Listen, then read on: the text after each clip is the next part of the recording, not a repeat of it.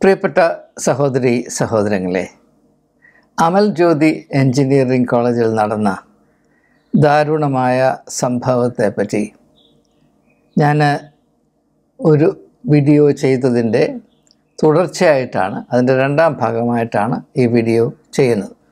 അങ്ങനെ ഒരു വീഡിയോ ചെയ്യുമെന്ന് ഞാൻ അതിൽ സൂചിപ്പിച്ചിരുന്നതുമാണ്. ഈ ഒരു വീഡിയോയിൽ ഈ സംഭവത്തിൽ അടങ്ങിയിരിക്കുന്ന ചില പ്രധാന ഘടകങ്ങളെപ്പറ്റി കുറച്ചുകൂടെ ആഴത്തിൽ വസ്തുനിഷ്ഠമായി നിങ്ങളോടൊപ്പം ചിന്തിക്കണമെന്നാണ് താല്പര്യപ്പെടുന്നത്. ആദ്യമായി വിദ്യാഭ്യാസവും അച്ചടക്കവും എന്ന വിഷയത്തെപ്പറ്റി ചിന്തിക്കുവാൻ ഈ സംഭവം നമ്മെ പ്രേരിപ്പിക്കുന്നുണ്ട്. സ്ഥാപനത്തിന്റെ ചുമതലയുള്ളവർ പറയുന്നത് അവർ അച്ചടക്കം പാലിക്കുന്നതിന് വേണ്ടി നിയമങ്ങൾ സൃഷ്ടിക്കുകയും ആ നിയമത്തെ പ്രാബല്യത്തിൽ വരുത്തുകയും ചെയ്തുകൊണ്ട് ഇരിക്കുന്നു. അങ്ങനെയാണ് ആത്മഹത്യ ചെയ്ത ശ്രദ്ധ സതീഷിന്റെ ഫോണ് പിടിച്ചെടുക്കുവാൻ ഉള്ള സാഹചര്യമുണ്ടായത്. ഇവിടെ നാം ശ്രദ്ധിക്കേണ്ട ചില കാര്യങ്ങൾ. ഈ സംഭവത്തിൽ ഇപ്പോൾ അന്വേഷണം നടക്കുന്നതായിട്ടാണ് ഞാൻ മനസ്സിലാക്കുന്നത്. എന്റെ അഭിപ്രായത്തിൽ ഏറ്റവും ശ്രദ്ധയോടെ സൂക്ഷ്മമായി പരിശോധിക്കേണ്ട ഒരു ഭാഗം ഈ സംഭവത്തിന്റെ ഒരു ഭാഗം ശ്രദ്ധ സതീഷും ആ വിദ്യാർത്ഥിനിയെ ഈ ഒരു സംഭവത്തിൽ കൈകാര്യം ചെയ്ത കോടതിയിലെ അധികാരി അത് ഹെഡ് ഓഫ് ഡിപ്പാർട്ട്മെന്റ് ആയി ആയിരിക്കാം ആണെന്നാണ് എന്റെ ധാരണ. പ്രിൻസിപ്പൽ ഇതിലെന്താണ് ഏത് പങ്കാണ് വഹിച്ചിരിക്കുന്നത് എന്ന് എന്നത് വ്യക്തമല്ല. വിദ്യാർത്ഥികളുടെ പ്രതി പ്രതികരണത്തിൽ നിന്ന് എനിക്ക് മനസ്സിലാക്കാൻ കഴിഞ്ഞത് ലാബിൽ നിന്ന് ശ്രദ്ധ തിരിച്ചു വന്നപ്പോൾ അവൾ വളരെ ഉദാസീനത കാണിച്ചുവെന്നും ഇതിനേക്കാൾ നല്ലത് മരിക്കുന്നതാണ് നല്ലത് എന്ന് സൂചിപ്പിച്ചു സൂചിപ്പിച്ചിട്ടുണ്ട് എന്നുമാണ്. അപ്പോൾ വളരെ വളരെ വ്യക്തമായ ഒരു കാര്യം അച്ചടക്കത്തിന്റെ പേരിൽ ഈ വിദ്യാർത്ഥിനിയെ ഫുഡ് ടെക്നോളജി രണ്ടാം വർഷം പഠിക്കുന്ന കുറഞ്ഞ പക്ഷം ഒരു പത്തൊൻപത് വയസ്സെങ്കിലും പ്രായമുള്ള ഇരുപത് വയസ്സെങ്കിലും പ്രായമുള്ള ഒരു വിദ്യാർത്ഥിനിയെ എപ്രകാരം കൈകാര്യം ചെയ്തു എന്നത് ഈ ഒരു സംഭവത്തിന്റെ സുപ്രധാനമായ ഭാഗമാണ്. ഞാൻ കഴിഞ്ഞ വീഡിയോയിൽ സൂചിപ്പിച്ചതുപോലെ പല ആളുകളുടെയും ധാരണ അച്ചടക്കം എന്ന് പറഞ്ഞാൽ ഹാർഷ്നെസ് എന്നാണ് ഹാർഷ്. അതായത് വളരെ പരുഷമായ ഇടപെടുക ഏറ്റവും പരുഷമായ ഇടപെട്ട് ഇടപെടുന്ന ആൾ വളരെ അച്ചടക്കത്തിന്റെ വിദഗ്ധനാണെന്നൊരു വലിയ തെറ്റിദ്ധാരണ നമ്മുടെ സമൂഹത്തിലുണ്ട്. അച്ചടക്കം ആരോഗ്യപരമായ അധികാരത്തിന്റെ സർഗാത്മകമായ ഒരു പ്രവർത്തന രീതിയാണ്. അത് ഞാൻ ഇംഗ്ലീഷിൽ പറയുമ്പോൾ കുറച്ചുകൂടെ മനസ്സിലാകുമായിരിക്കും. Discipline is the creative exercise of wholesome authority അച്ചടക്കം എന്നത് ആരോഗ്യമുള്ള ആരോഗ്യ പൂർണ പൂർണമായ അധികാരത്തിന്റെ സർഗാത്മക പ്രയോഗമാണ്. Creative exercise of wholesome authority ഇത് വളരെ പ്രധാനപ്പെട്ട കാര്യമാണ്. അപ്പോൾ ഒരു വിദ്യാർത്ഥി നിയമം ലംഘിച്ചു. ആ നിയമലംഘനത്തെ അവഗണിക്കാൻ സാധ്യമല്ല. നിയമം ഉള്ളിടത്തോളം കാലം അതിന്റെ ലംഘനത്തെ അവഗണിക്കാൻ സാധ്യമല്ല. അതേസമയം ഈ നിയമലംഘനത്തെ എങ്ങനെ കൈകാര്യം ചെയ്യുന്നു എന്നത് ഒരു വലിയ പ്രാധാന്യം അർഹിക്കുന്ന പ്രശ്നം തന്നെയാണ്. എന്റെ അഭിപ്രായത്തിൽ ഞാൻ എന്റെ ധാരണ തെറ്റായിരിക്കാം എന്റെ അഭിപ്രായത്തിൽ. അച്ചടക്കം എന്ന് പറയുന്ന അതിപ്രധാനമായ ആശയത്തെ ആരോഗ്യപരമായോ സർഗാത്മകമായോ വിദ്യാർത്ഥി വിദ്യാർത്ഥിനികൾക്ക് തൽക്കാലം മാത്രമല്ല ആജീവനാന്തം പ്രയോജനം വരുന്ന വിധത്തിൽ കൈകാര്യം ചെയ്യുവാൻ പക്വതയുള്ള ആളുകൾ ഉന്നത വിദ്യാഭ്യാസ മേഖലയിൽ നന്നേ നന്നേ നന്നേ കുറവാണ്. ഇതിന് പല കാരണങ്ങളുണ്ട്. അല്ല ഒരു കാരണം ഞാൻ പറയാം.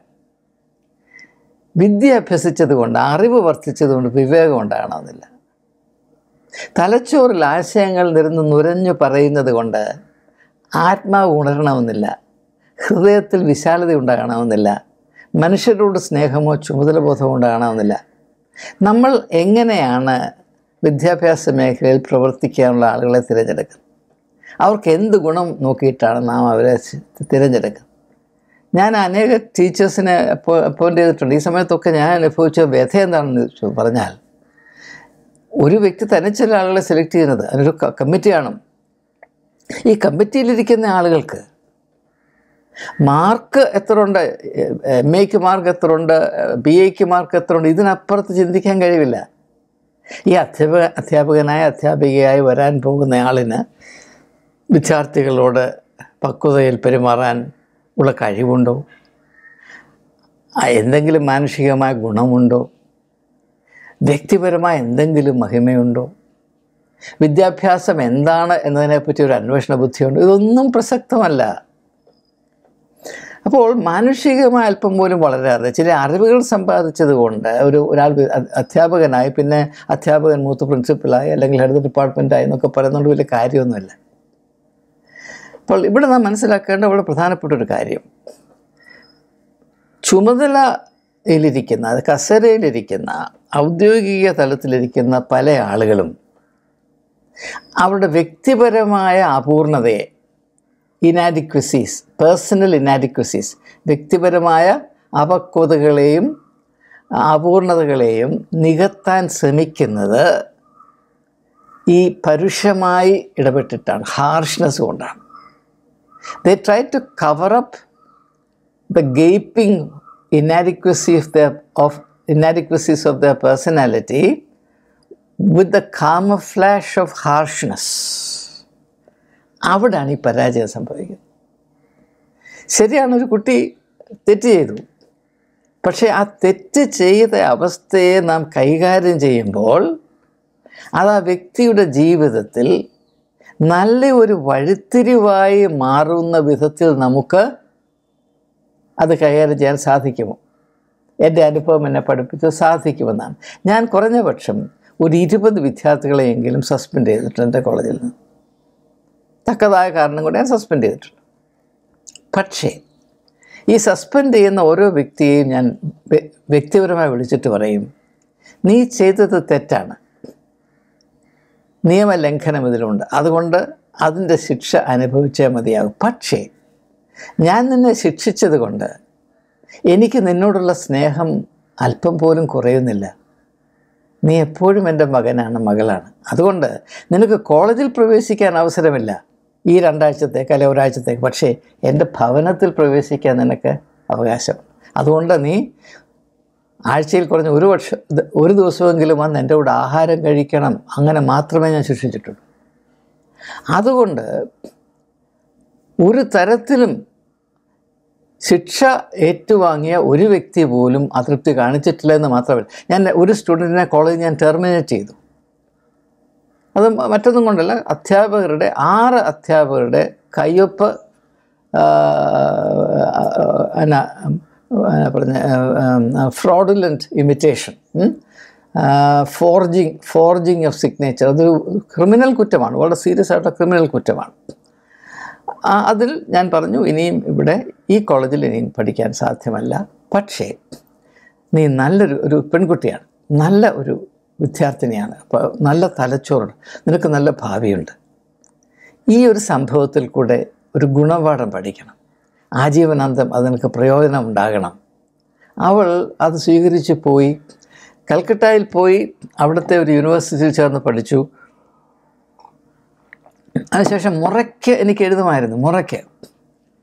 ഞാൻ എടുത്ത നിലപാടിനെ അംഗീകരിച്ചുകൊണ്ടും അത് അവൾക്ക് ചെയ്ത നന്മകളെ അംഗീകരിച്ചുകൊണ്ടും അവൾ എനിക്ക് മുറയ്ക്ക് എഴുതുമായിരുന്നു. ഞാൻ മറുപടിയും അയക്കുമായിരുന്നു ഞാൻ പറഞ്ഞു വന്നത് അച്ചടക്കം പാലിക്കുന്നു എന്നതുകൊണ്ട് വിദ്യാർത്ഥി വിദ്യാർത്ഥികളുടെ ആത്മാഭിമാനം അവരിൽ നിന്ന് മോഷ്ടിച്ച് കളയേണ്ട അല്ലെങ്കിൽ പിടിച്ചു പറിച്ച് കളയേണ്ട ആവശ്യമൊന്നുമില്ല. ഒരു മനുഷ്യ ആത്മാവിന് ആഘാതമേൽപ്പിച്ചുകൊണ്ടല്ല അച്ചടക്കം നാം സ്ഥാപിക്കുന്നത് അച്ചടക്കത്തിന്റെ ഉദ്ദേശം തന്നെ മനുഷ്യൻ എന്ന് പറയുന്ന ആ ഒരു പ്രതി പ്രത്യേക പ്രതിഭാസത്തിൽ ഇപ്പോൾ നിലവിലുള്ള ചില അപാകതകൾ അത് മാറ്റിക്കളഞ്ഞിട്ട് അതിന്റെ സാധ്യതകളുടെ ശോഭ കുറെ കൂടെ ദീപ്തമാകാനുള്ള ഒരു സാഹചര്യം ഒരു വഴി ഒഴുക്കി കൊടുക്കുക. അതാണ് അച്ചടക്കം. അപ്രകാരം ഇതിനെ അറിയാവുന്ന എത്ര പേർ ഉന്നത വിദ്യാഭ്യാസ മേഖലയിൽ പ്രവർത്തിക്കുന്നുണ്ട് നിങ്ങൾ അന്വേഷിച്ച് നോക്കണം. അപ്പോൾ ഇത് ഞാൻ ഈ ഒരു കാര്യത്തെപ്പറ്റി വളരെ വ്യാപകമായ ഒരു ബോധവൽക്കരണം കേരളത്തിൽ ഉണ്ടാകേണ്ട ആവശ്യമുണ്ട്. അച്ചടക്കം അനിവാര്യമാണ്. പക്ഷേ അച്ചടക്കം എന്താണെന്നും അതിന്റെ ലക്ഷ്യം എന്താണെന്നും അത് എപ്രകാരം കൈകാര്യം ചെയ്യണമെന്നും വ്യക്തമായ ഒരു അറിവുണ്ടായിരിക്കണം. ഞാൻ വളരെ ശക്തമായ അടിവരയിട്ടൊരു കാര്യം പറയട്ടെ.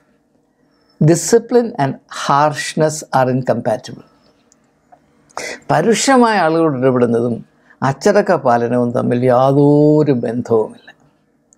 ആത്മാക്കളെ മുറിവേൽപ്പിക്കാനുള്ള അവകാശം ആർക്കും ലഭിച്ചിട്ടില്ല.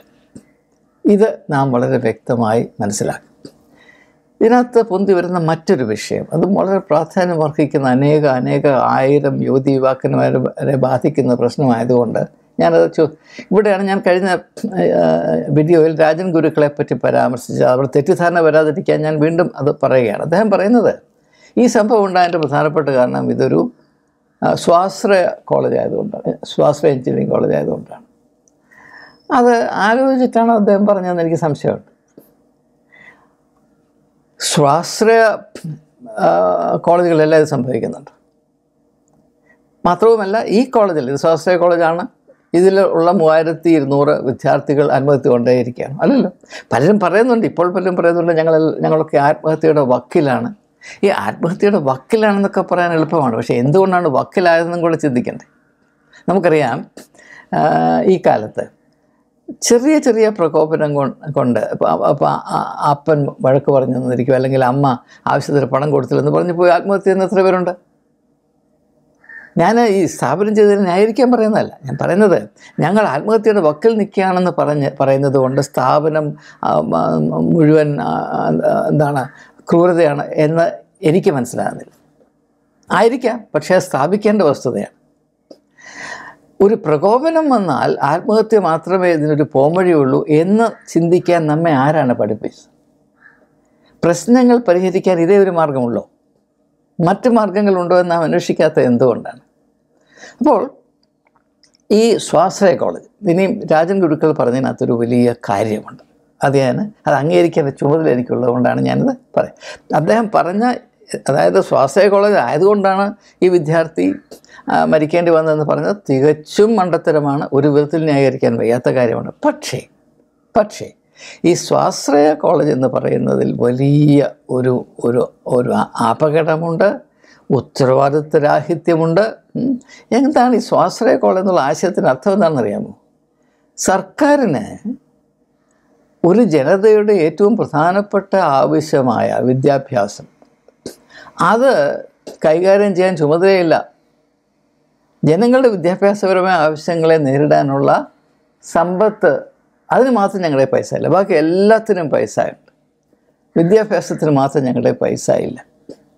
ഞാൻ ഒരു സ്വാശ്രയ കോളേജിൽ ഒരു ടീച്ചേഴ്സിന് ക്ലാസ് എടുക്കാൻ അതും ഈ ഏറിയ തന്നെയാണ്. അപ്പോൾ ഫോർമൽ സെഷൻസ് എല്ലാം കഴിഞ്ഞപ്പോൾ പല ടീച്ചേഴ്സും എന്നെ കാണാൻ വന്നു. അവരൊക്കെ എന്നോട് പറഞ്ഞത് ഞങ്ങൾക്ക് തുച്ഛമായ ശമ്പളമായി കിട്ടുന്നു. അവർ കോളേജ് മാനേജ്മെന്റിനെ വിമർശിച്ചല്ല എന്നോട് സംസാരിച്ചു. അവർ പറഞ്ഞത് സർക്കാർ ഉണ്ടാക്കി വെച്ച ഈ ഒരു സിസ്റ്റത്തിൽ മറ്റുള്ളവർക്ക് നാൽപ്പതിനായിരം കിട്ടുമ്പോൾ ഞങ്ങൾക്ക് ഇരുപതിനായിരം രൂപ കിട്ടുന്നുള്ളൂ അവരെ പോലെ ഞങ്ങൾക്കും യോഗ്യതയുണ്ട് കഴിവുണ്ട്. അവരെക്കാൾ കൂടുതൽ ഞങ്ങൾ അധ്വാനിക്കുന്നുണ്ട്. പക്ഷേ ഞങ്ങളുടെ അവസ്ഥ ഇതാണ്. മാത്രവുമല്ല പലർക്കും സെക്യൂരിറ്റി ഇല്ല ജോബ് സെക്യൂരിറ്റി ഇല്ല. അപ്പം നിങ്ങളൊന്ന് ആലോചിച്ച് നോക്കണം. ഇപ്പോൾ ഈ സാഹചര്യത്തിൽ സ്ട്രൈക്ക് ചെയ്യാനും അല്ലെങ്കിൽ പ്രക്ഷോഭണത്തിനൊക്കെ ഇറങ്ങുന്ന ആളുകൾ എന്തുകൊണ്ടാണ് ഇങ്ങനെയുള്ള അടിസ്ഥാനപരമായ പ്രശ്നങ്ങൾ ഉണ്ട് എന്ന് തിരിച്ചറിയാത്ത എന്തുകൊണ്ടാണ്? ഇപ്പം രാജൻ ഗുരുക്കൾ തന്നെ ഇതിങ്ങനെ ഇതിന്റെ ഒരു കാരണം കണ്ടുപിടിച്ചു. പക്ഷേ ഇത് ഇത്രമാത്രം വലിയൊരു പ്രശ്നമാണെന്ന് അറിഞ്ഞിട്ട് ഇത് പരിഹരിക്കുന്നതിന് അദ്ദേഹം എന്ത് ചെയ്തു എന്നെനിക്കറിയാൻ താല്പര്യമുണ്ട്. ഈ സ്വാശ്രയ കോളേജ് എന്ന് പറയുന്ന ആശയത്തിൽ അടങ്ങിയിരിക്കുന്ന ഏറ്റവും നിരുത്തു നിരുത്തരവാദപരമായ ഇറസ്പോൺസിബിളായിട്ടുള്ള വിദ്യാഭ്യാസത്തിലുള്ള സമീപനത്തെ പറ്റി അദ്ദേഹത്തിനുള്ള അതൃപ്തിയും എതിർപ്പും അദ്ദേഹം എവിടെയൊക്കെയാണ് പ്രകടിപ്പിച്ചിട്ടുള്ളത് എന്നറിയാൻ എനിക്ക് താല്പര്യം ഉണ്ടായിരിക്കാം. എനിക്ക് കേരളത്തോട് അത്ര പരിചയമില്ലാത്തതുകൊണ്ട് ക്ഷമിക്കണം. അപ്പോൾ സ്വാശ്രയ കോളേജ് എന്ന ആശയം തന്നെ ഈ സമൂഹത്തിന് അപകടമാണ്. ഇപ്പോൾ ഈ ജ്യോതി എഞ്ചിനീയറിംഗ് കോളേജ് നോക്കുമ്പോൾ അമൽ ജ്യോതി എഞ്ചിനീയറിംഗ് കോളേജ് നോക്കുമ്പോൾ ഇവിടെ മൂവായിരത്തി ഇരുന്നൂറ് വിദ്യാർത്ഥികൾ പഠിക്കുന്നുണ്ട്. ഇവർക്ക് ഇവരുടെ വിദ്യാഭ്യാസത്തിന് സർക്കാരിന് യാതൊരു ചുമതലയില്ല. അവരുടെ കയ്യിൽ നിന്ന് പൈസ വാങ്ങിച്ച് അതിന്റെ ഒരു ഭാഗം ടീച്ചേഴ്സിന് കൊടുത്ത് ബാക്കി മാനേജ്മെന്റ് ലാഭമുണ്ടാക്കി ഇത് ആദ്യം മുതൽ അവസാനം വരെ സർക്കാർ മാനേജ്മെന്റിനെ കളിപ്പിക്കുന്നു. മാനേജ്മെന്റ് വിദ്യാർത്ഥികളെയും ടീച്ചേഴ്സിനെയും കളിപ്പിക്കുന്നു. ഇവരെല്ലാം കൂടെ ചേർന്ന് കേരളത്തിന്റെ ഭാവിയെ കളിപ്പിക്കുന്നു. ഇങ്ങനെയുള്ള ഒരു വലിയ ആഭാസത്തരമാണ്. വിദ്യാഭ്യാസ മേഖലയിലെ നമ്പർ വൺ ആഭാസത്തരമാണ് ഈ സ്വാശ്രയ കോളേജ് എന്ന് പറയുന്നത്. എന്തുകൊണ്ടാണ് തക്കതായ ഒരു സഹായം സർക്കാരിൽ നിന്ന് വിദ്യാഭ്യാസ സ്ഥാപനങ്ങൾക്ക് ലഭിക്കാതെ. ഇപ്പം കേരളത്തിന്റെ മാത്രം പ്രശ്നമല്ല നമുക്കറിയാം ഭാരതത്തിൽ പൊതുവേ സർക്കാർ സെൻട്രൽ ഗവൺമെന്റ് ആണെങ്കിലും സ്റ്റേറ്റ് ഗവൺമെന്റ് ആണെങ്കിലും വിദ്യാഭ്യാസത്തിൽ നിന്ന് പിന്മാറുകയാണ്. വിദ്യാഭ്യാസത്തെ അങ്ങ് വാനോളം പുകഴ്ത്തുന്നു സ്റ്റേജിൽ കയറിയുന്നുണ്ട്. പക്ഷേ സ്റ്റേജ് വിട്ട് കഴിയുമ്പോൾ വിദ്യാഭ്യാസത്തെ തകർക്കാൻ ശ്രമിക്കുന്നു. ഇതൊരു വലിയ പ്രശ്നമാണ്. ഒരു വിദ്യാർത്ഥി മരിച്ചു എന്നത് നമ്മുടെ ഹൃദയം മുറുക്കുന്ന സംഭവമാണ്. പക്ഷേ അതുപോലെ തന്നെ ഒരു പക്ഷേ അതിനേക്കാൾ അപ്പുറം അനേകം ആളുകളുടെ ജീവൻ ഒടുക്കുവാൻ പര്യാപ്തമായ ഒരു വലിയ പ്രശ്നം എവിടെ പതിയിരിപ്പുണ്ടെന്ന് നിങ്ങൾ മനസ്സിലാക്കുക. അതുകൊണ്ട് ഈ സ്വാശ്രയ കോളേജ് എന്ന് പറയുന്ന ആശയം അവസാനിപ്പിക്കണം. കാരണം ഇവർ ഒറ്റ സ്വാശ്രയ കോളേജിൽ പോലും വേണ്ടതുപോലെയുള്ള ഫെസിലിറ്റീസോ വിദ്യാർത്ഥികൾക്ക് വേണ്ടത്ര ഒരു ഒരു സാവകാശമോ അല്ല ഒരു ഉദാഹരണം ഞാൻ പറയാം. ഒരു ഒരംശം ഞാൻ പറയാം. ഞാൻ പറഞ്ഞ ഈ കോളേജിൽ മൂവായിരത്തി ഇരുന്നൂറ് വിദ്യാർത്ഥികൾ പഠിക്കുന്നു. എന്തുകൊണ്ടാണ് അങ്ങനെ പഠിക്കേണ്ടി വരുന്നത്? ഇത്രമാത്രം അധികം വിദ്യാർത്ഥികളെ അഡ്മിറ്റ് ചെയ്തെങ്കിൽ മാത്രമേ ആവശ്യമായ പണം അവരിൽ നിന്ന് ശേഖരിക്കാനൊക്കത്തുള്ളൂ. നമുക്കെല്ലാവർക്കും അറിയാം ഒരു ക്ലാസ് റൂമിൽ ഇരുപത്തിയഞ്ച് വിദ്യാർത്ഥികളിൽ കൂടുതലുണ്ടെങ്കിൽ യഥാർത്ഥത്തിൽ പഠിപ്പിക്കാനൊക്കത്തില്ല. ഞാനിതിനെ പറയുന്നത് എഡ്യൂക്കേഷണൽ സ്ലം എന്നാണ് പറയുന്നത്. വിദ്യാഭ്യാസ സ്ലംസാണ് ഇതൊക്കെ. എന്തുകൊണ്ട് അങ്ങനെ ആയിപ്പോകുന്നു? സമ്പത്തിന്റെ ഫണ്ടിങ്ങിന്റെ ദാരിദ്ര്യം കൊണ്ട് സംഭവിക്കുന്നു. ഈ ഫണ്ടിങ്ങിന്റെ ദാരിദ്ര്യം ആരാണ് ഉണ്ടാക്കി വെച്ചത്? അമൽ ജ്യോതി എഞ്ചിനീയറിംഗ് കോളേജ് അല്ല സർക്കാരാണ് ഉണ്ടാക്കി വെച്ചത്. മാത്രവുമല്ല പോട്ടെ ഈ സ്വാശ്രയ കോളേജ് അങ്ങോട്ട് വിടും മറ്റുള്ള കോളേജുകൾ. ഇപ്പോൾ സെന്റ് സ്റ്റീഫൻസ് കോളേജിന് തൊണ്ണൂറ്റഞ്ച് ശതമാനം ഗ്രാൻഡ് ഗ്രാൻഡ് കിട്ടുമ്പോൾ കേരളത്തിലെ ന്യൂനപക്ഷ കോളേജുകൾക്ക് അറുപത് പെർസെന്റ് ഗ്രാൻഡ് കിട്ടുന്നുള്ളൂ. ബാക്കിയുള്ള നിങ്ങൾ കൈക്കൂലി കൊണ്ട് ഉണ്ടാക്കിക്കൊള്ളാനാണ് സർക്കാർ പറയുന്നത്. അതുകൊണ്ടാണ് നാൽപ്പത് പെർസെന്റ് മാനേജ്മെന്റ് സീറ്റ് കൊടുത്തിരിക്കുന്നത്. മാനേജ്മെന്റ് സീറ്റ് എന്ന് പറഞ്ഞാൽ കോഴയുടെ സീറ്റ് എന്നാണ്. ഒരു സൈഡിൽ കൂടെ നിയമം പറയും നിങ്ങൾ കോഴ വാങ്ങിക്കരുത് ക്യാപിറ്റേഷൻ ഫീ വാങ്ങിക്കരുത് എന്ന് പറയും.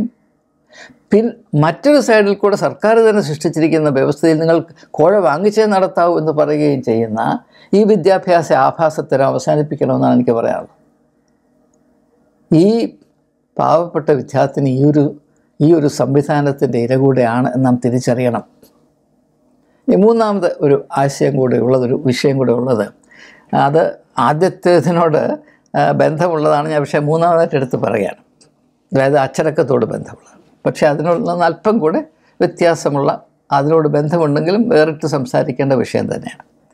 അപ്പോൾ ഈ മാധ്യമത്തിൽ കൂടെ എനിക്ക് ലഭിച്ചിട്ടുള്ള റിപ്പോർട്ട് അനുസരിച്ച് ഇവിടെ ഒരു ഫാദർ മാത്യു പൈക്കാടുണ്ട് എനിക്ക് അദ്ദേഹത്തെ അറിഞ്ഞുകൂടാ. പൈക്കാടെന്ന് വെച്ചാൽ എനിക്ക് അറിഞ്ഞുകൂടാ.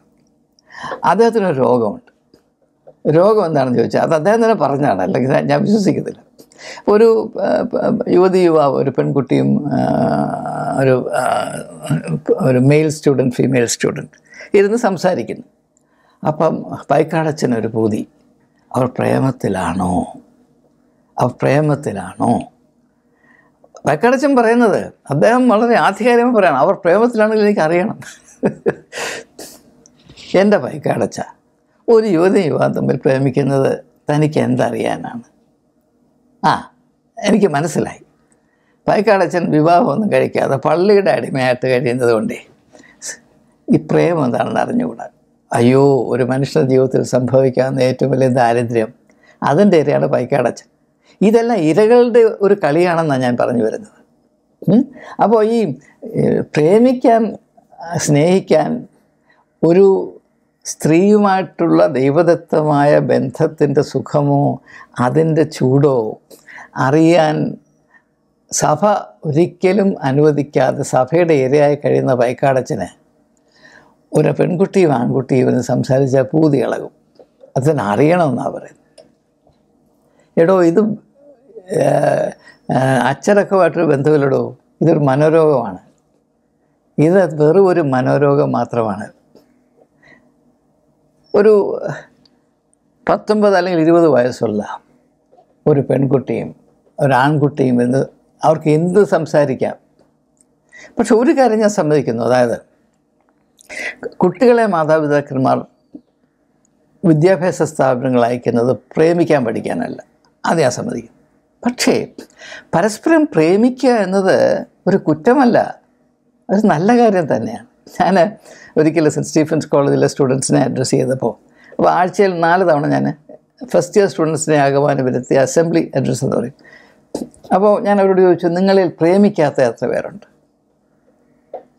അപ്പോൾ ഒത്തിരി പേര് കൈ ഞാൻ ചോദിച്ചു അയ്യോ നിങ്ങൾക്ക് എന്താ നിങ്ങൾക്ക് എന്താ വല്ല അപകടം പറ്റിയോ?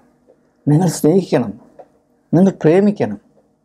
എന്നാണ് ഞാൻ അവരോട് പറഞ്ഞത്. കാരണം പുരുഷനും സ്ത്രീയും തമ്മിൽ സേവിച്ച് സ്നേഹിച്ചില്ല എങ്കിൽ മനുഷ്യ ജാതി അപകടത്തിലല്ലേ? പക്ഷേ ഞാനവരോട് പറഞ്ഞു.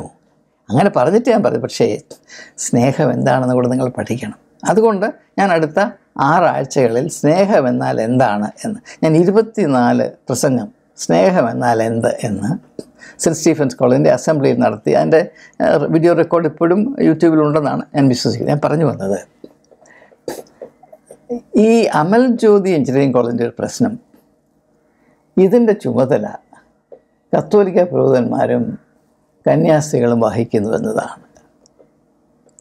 അവർക്ക് ഈ പ്രേമം എന്ന് പറഞ്ഞാൽ വലിയ പ്രേതം. ഈ പ്രേമം എന്ന് പറഞ്ഞാൽ പ്രേതം എന്നാണ്. മറുത അടിച്ചിരിക്കുന്നത് എന്നാണ് അവരുടെ വിചാരം. ഇത് വളരെ നല്ല ഒരവസ്ഥയാണെന്നും അനുഗ്രഹിക്കപ്പെട്ട ഒരവസ്ഥയാണെന്നും ഒരു സ്ത്രീയും പുരുഷനും പരസ്പരം സ്നേഹിക്കുന്നത് വളരെ നല്ലൊരു കാര്യമാണെന്നും അവർക്ക് ഒരിക്കലും നമ്മൾ എത്ര പറഞ്ഞാൽ അവർക്ക് മനസ്സിലായില്ല. കാരണം അവർ ആദ്യം പോലെ മനസ്സിലാക്കിയിരിക്കുന്നത് അയ്യോ സ്നേഹമെന്ന് പറഞ്ഞാൽ വലിയ അതേസമയം തന്നെ ബലാത്സംഗം നല്ലതാണ്. ഫ്രാങ്കോട് ചോദിച്ചാൽ പറയും ബലാത്സംഗം നല്ലതാണ്. റോബിനച്ചനോട് ചോദിച്ചാൽ പറയും നല്ലതാണ്. അതേസമയം പ്രേമിക്കരുത്. ബലാത്സംഗം ചെയ്യുക ഇതാണ് നമ്മുടെ അവസ്ഥ. അതുപോലെ തന്നെ കുട്ടികൾ ആവർത്തിച്ച് മറ്റുള്ള കുട്ടികൾ ആവർത്തിച്ച് ആവർത്തിച്ച് പരാ- പരാ- പരാമർശിക്കുന്നത്. ഈ ഹോസ്റ്റലിന്റെ ചുമതലയുള്ള വാർഡൻ ഒരു കന്യാസ്ത്രീയാണ്. അവർ പറയുന്ന ആ സ്ത്രീ വാ തുറന്നാൽ വഴക്ക് പറയും അസഭ്യമായ അസഭ്യം എന്ന് പറഞ്ഞാൽ കേക്ക് ആരും കേൾക്കാൻ താല്പര്യമില്ലാത്ത കാര്യങ്ങൾ മാത്രം പറയും. മനുഷ്യരെ വിരട്ടുന്നു ഭീഷണിപ്പെടുത്തുന്നു അപമാനിക്കുന്നു പള്ളു പറയുന്നു. എന്നിട്ട് കുട്ടികൾ തന്നെ ചോദിക്കുകയാണ് ഇങ്ങനെയാണ് ഒരു കന്യാസ്ത്രീ ഇടപെടേണ്ടത് എന്റെ പ്രിയപ്പെട്ട കുട്ടികളെ ഒരു കന്യാസ്ത്രീയെ കൊണ്ടത് നടക്കും കാരണം ഇവരൊക്കെ മുരടിച്ച വ്യക്തിത്വങ്ങളാണ്. മുരടിച്ച വ്യക്തിത്വങ്ങളാണ്. അവരെ അങ്ങനെ ആക്കി വെച്ചതൊരു സഭയാണ്. സഭയ്ക്ക് അമിതലാഭം കൊയ്യേണ്ടതിന് വേണ്ടി മനുഷ്യ വ്യക്തിത്വങ്ങളെ ഒരു വ്യവസ്ഥിതിയുടെ ഉള്ളിൽ ഇട്ട് ശ്വാസം മുട്ടിച്ച് കൊല്ലുന്ന ഒരു യാഥാർത്ഥ്യത്തിന്റെ ഇരകളാണ് നിങ്ങളെല്ലാവരും. അതിൽ ഏറ്റവും പ്രധാനപ്പെട്ട പേരാണ് ശ്രദ്ധ സതീഷ് എന്നുള്ളത് അതുകൊണ്ടാണ് യൗവനത്തിൽ പൊലിഞ്ഞു പോയ ആ നല്ല ജീവിതത്തെ ഓർത്ത് ഞാൻ കണ്ണീർ വാർക്കുന്നത്. എന്നാൽ എന്റെ കഴിഞ്ഞ വീഡിയോയിൽ ഞാൻ വളരെ വ്യക്തമായി പറഞ്ഞു അങ്ങനെ ആത്മഹത്യ ചെയ്യുന്നതിൽ വലിയ ആരും സ്വീകരിക്കരുതാത്ത അപാകതകൾ അങ്ങ് വിങ്ങി പൊന്തി നിൽപ്പുണ്ട്. അവ തിരിച്ചറിയാൻ നമുക്ക് കഴിയണം രണ്ടും നമുക്ക് കഴിയണം. അല്ലാതെ ഒരു ഭാഗം മാത്രം നോക്കി എല്ലാവരും പറയുന്നത് പോലെ പറയാൻ ഞാൻ ആളല്ല. പല വശങ്ങളുണ്ട്. ആ വശങ്ങളൊക്കെ സമഗ്രമായി മനസ്സിലാക്കാൻ നമുക്കൊരു ചുമതലയുണ്ട്. അതുകൊണ്ട് ഇങ്ങനെയുള്ള സംഭവങ്ങൾ നടക്കുമ്പോൾ അവയൊക്കെയും യാഥാർത്ഥ്യങ്ങളെ തിരിച്ചറിയുവാൻ നമുക്ക് ലഭിക്കുന്ന വേദന നിർഭരമായ ആഹ്വാനങ്ങളാണ് എന്ന് ജനം മനസ്സിലാക്കണമെന്ന് മാത്രമേ എനിക്ക് എല്ലാവരോടും പറയാനുള്ളൂ. അല്ലാതെ കുറച്ച് മുദ്രാവാക്യം വിളിച്ചത് കൊണ്ടോ ഗേറ്റ് തല്ലി പൊളിച്ചത് കൊണ്ടോ അധ്യാപകർക്കെതിരെ ആക്രോശിച്ചത് കൊണ്ടോ പോലീസിനെ തല്ലിയത് കൊണ്ടോ അല്ലെങ്കിൽ പോലീസിന്റെ നടി വാങ്ങിച്ചത് കൊണ്ടോ യാതൊരു പ്രയോജനമില്ല കുഞ്ഞുങ്ങളെ. നിങ്ങൾ ദയവായി നിങ്ങളുടെ നന്മ എന്താ എന്ന് അന്വേഷിപ്പീൻ. യാഥാർത്ഥ്യബോധത്തോടെ വികാരത്തള്ളലിലല്ല ദൈവം നൽകിയ യുക്തി ഉപയോഗിച്ച് അറിവ് സമ്പാദിക്കാൻ പരിജ്ഞാനം പ്രാപിപ്പാൻ നിങ്ങൾ മുതിരുവീൻ. ഈ ഒരു ദാരുണമായ സംഭവത്തിൽ അടങ്ങിയിരിക്കുന്ന ഘടകങ്ങളെ നിങ്ങൾ തിരിച്ചറിയുവിൻ. അവയ്ക്ക് പരിഹാരം കണ്ടെത്തുവാൻ നിങ്ങൾ ഒറ്റക്കെട്ടായി പ്രവർത്തിപ്പീൻ അതിന് നിങ്ങൾ സ്വരമുയർത്തുവീൻ നിങ്ങളുടെ കൂടെ ആയിരിപ്പാനും ഈ ഒരു കാര്യത്തിൽ നിങ്ങളെപ്പോലെ അന്വേഷിക്കാനും വയസ്സനായ എനിക്കും താല്പര്യമുണ്ട്. നിങ്ങളോട് ഓരോരുത്തരോടുമുള്ള അകായിതവുമായ സ്നേഹം ദൂരെ നിന്നെങ്കിലും അറിയിച്ചുകൊണ്ട് വാക്കുകൾ ചുരുക്കം. An eye for truth. Eye to Eye News subscribe ചെയ്തിട്ടില്ലാത്തവർ ഇപ്പോൾ തന്നെ സബ്സ്ക്രൈബ് ചെയ്യുക.